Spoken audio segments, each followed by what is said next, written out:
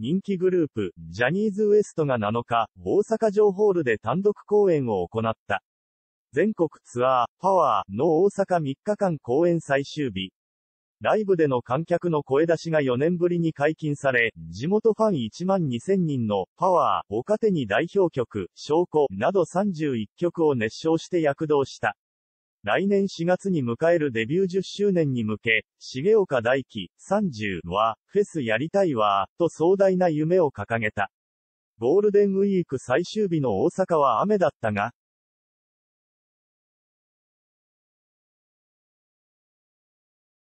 大阪城ホールには7色のペンライトが虹のように光り輝いた。小滝望む26が土砂降りの中、サンキュー。声を聞かせてくれよ、と煽ると場内は大歓声。重岡は、これこれ、ほんまに待ってましたって感じ。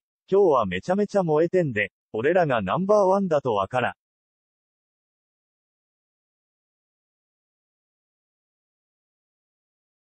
せてやろうぜ、と腹の底から叫んだ。4年ぶりに観客の声出しが解禁され、デビュー曲、ええじゃないかはファンの、ええじゃないか、という掛け声が復活。藤井流星29は、ここ3、4年は自分たちで言っていたから、この声が一番聞きたかった、と喜びをかみしめた。